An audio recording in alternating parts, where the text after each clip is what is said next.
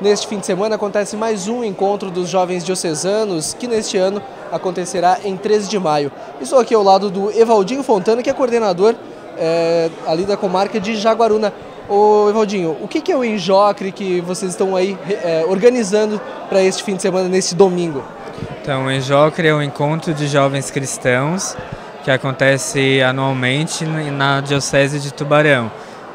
Certo. E quem pode participar nesse encontro que vocês promovem no domingo?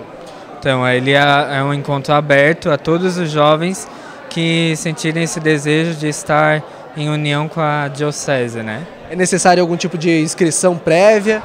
Não, não é necessário.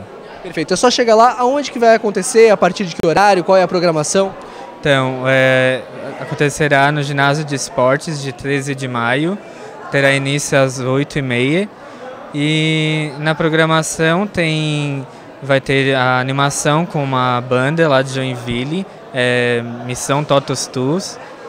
Vai ter oração, vai ter teatros. Então é um momento muito bacana assim de, de convivência entre os jovens da nossa diocese. Bacana, só lembrando, quem quiser ir e ficar para o almoço, é, é, importante lembrar que tem um custo só do almoço, né? Isso. A gente, é, nós vamos cobrar né, o almoço, uma taxinha de cinco reais. Perfeito, Evaldinho, muito obrigado pelas informações. Então tá aí, é, o convite está aberto a toda a população neste domingo, a partir das 8h30 da manhã, no ginásio de esportes de 13 de maio.